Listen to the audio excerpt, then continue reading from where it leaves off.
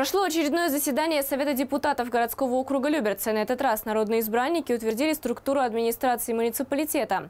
Некоторые секторы отдела решено сократить или объединить. Такие изменения связаны с уменьшением численности аппарата администрации.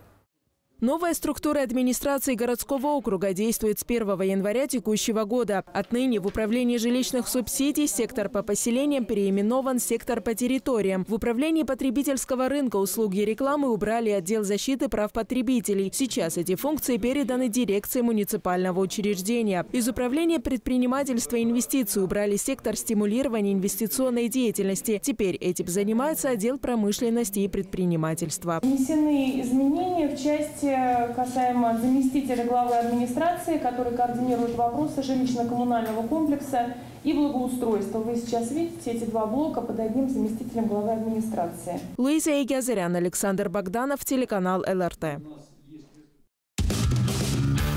Всем привет! Я Анна Троян, вы смотрите ЛРТ. Подписывайтесь на наш канал на Ютубе и ставьте лайки. Будьте в курсе самых важных событий.